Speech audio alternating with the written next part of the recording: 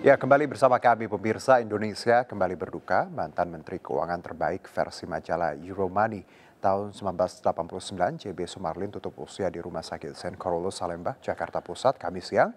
JB Sumarlin meninggal dunia di usia 87 tahun setelah menjalani perawatan intensif sejak awal Februari lalu karena menderita penyakit komplikasi.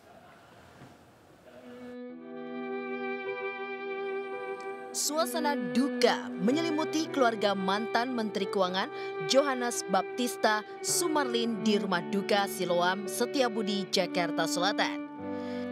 Sebelumnya, beliau sempat menjalani perawatan intensif sejak awal Februari lalu di Rumah Sakit St. Carlos Salemba, Jakarta Pusat akibat komplikasi penyakitnya yang dialami sejak lama. Beliau menghembuskan nafas terakhirnya di usia ke-87 tahun pada Kamis siang. Menurut keluarga, almarhum merupakan sosok ayah yang baik dan humoris dan juga menjadi panutan seorang pekerja keras bagi keluarga. Bapakku tuh um, orang yang yang penuh apa namanya ya tidak menganggap nah, kesulitan tuh sulit gitu jadi melihatnya dari sudut yang yang yang lucu.